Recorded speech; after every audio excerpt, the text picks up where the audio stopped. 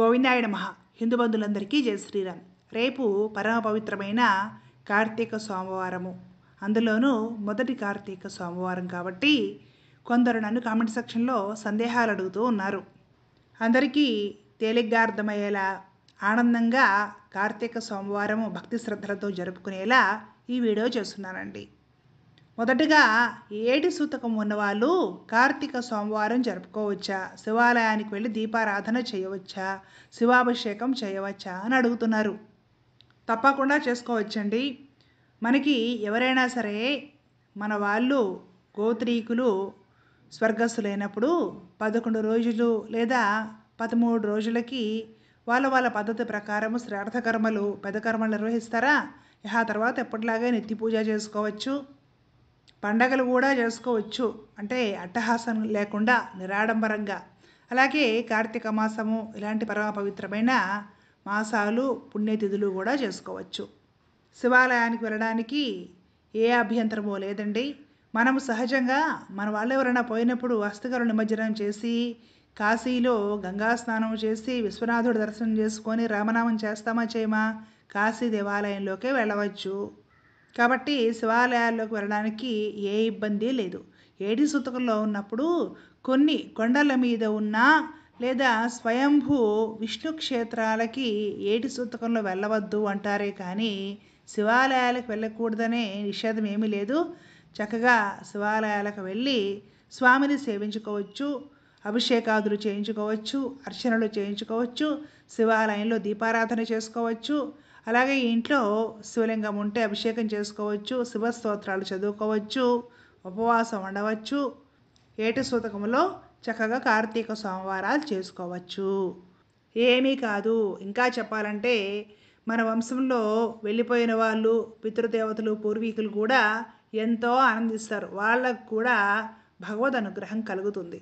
కాబట్టి ఏటి సూతకము ఇలాంటి పేర్లతోటి కార్తీక సోమవారము శివారాధనకి ఎవరూ దూరం అవ్వాల్సిన పనిలేదు హాయిగా ఆనందంగా అందరూ శివారాధన చేసుకోవచ్చు. ఇకపోతే పీరియడ్స్లో ఉంటే కార్తీక సోమవారం ఎలాగండి? దీపాలు వెలిగించవచ్చా? అందులోనూ కార్తీక మాసము కార్తీక సోమవారము ఇల్లు బోసుగా ఉంటే ఎలా అని కొందరు బాధపడుతున్నారు. పీరియడ్స్లో ఉన్నప్పుడు ఎట్టి పరిస్థితుల్లోనూ కూడా దేవుడు పూజ చేయడానికి లేదు. నాలుగు రోజులు శుద్ధవుతారో ఐదు రోజులు శుద్ధవుతారో ఎప్పుడైనా సరే శుద్ధి అయ్యేంత వరకు ఏ దేవుడికి ఏ దేవతకి పూజ చేయడానికి లేదు. దేవుడి వత్తులు ప్రమిదలు నూనెలు వేసేసి తాకి దీపాలు కూడా వెలిగించడానికి లేదు. అలా అని ఈ ఇల్లాలు నా పరిస్థితి ఎలా ఉందే?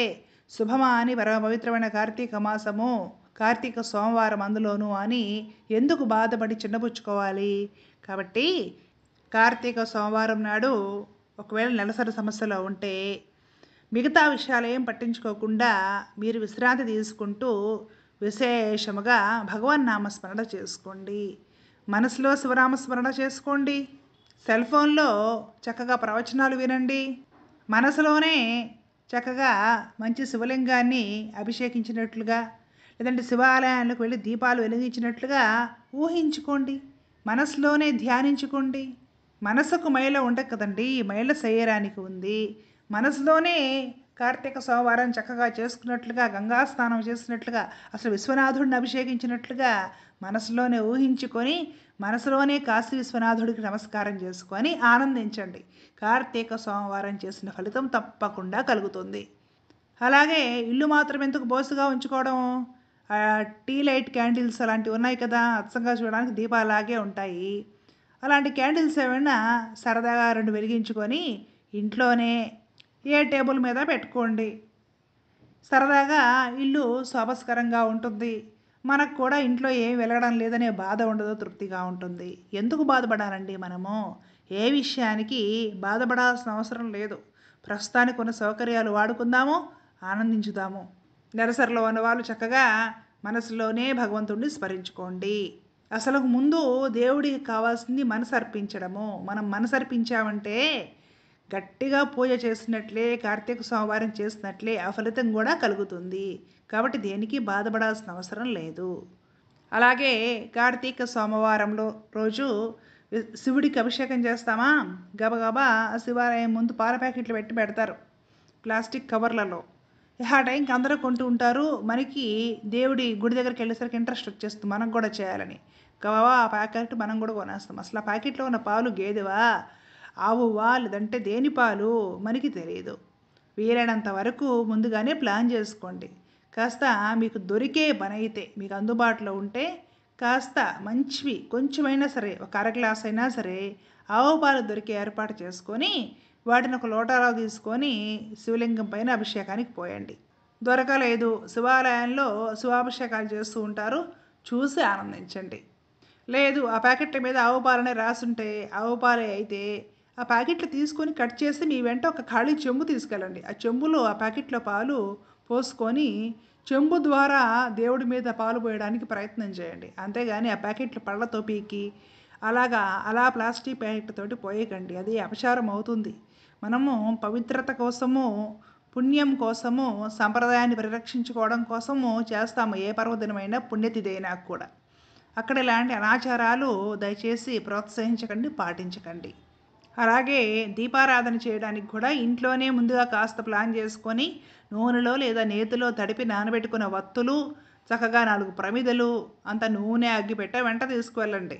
చాలామంది ఏదో అనుకోకుండా బయటకు ఊర్లకు వెళ్ళో లేదంటే శివాలయం వైపుగా వెళ్ళో అప్పటికప్పుడు చూసేసి జనాలని మనకు కూడా వెళ్ళాలి అని అనిపిస్తుంది. అప్పటికప్పుడు నిర్ణయం తీసేసుకుంటారు. ఇహ అప్పుడు షాపుల దగ్గర ఏవో వత్తులని ప్రమిదలని తీసుకొని వెళ్తారు. గుర్తుపెట్టుకోవాలండి రెడీమేడ్ వత్తులు. ఆ వత్తి కింద ఆవు నెయ్యి లాగే పసుపు రంగులో ఒక ఫ్యాట్ కనపడుతుంది పేరుకుపోయి ఉంటుంది. అవి దేని తాలూకా కొవ్వులో మనకి తెలియదు పొరపాటున అది ఏదైనా జంతువులకు సంబంధించిన కొవ్వు ప్రత్యేకించి ఆవుకు సంబంధించింది ఏదైనా అయితే మహాపాతకం చుట్టుకుంటుంది శివుడి సన్నిధిలో.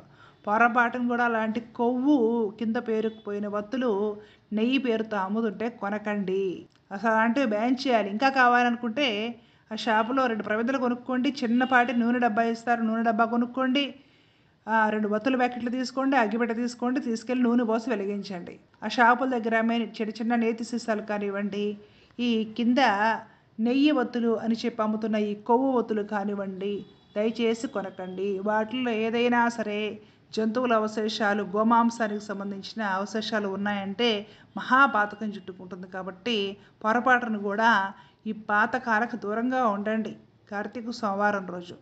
ఏ హడావిడి లేకుండా జాగ్రత్తగా కాస్త ముందుగానే ప్లాన్ చేసుకోండి.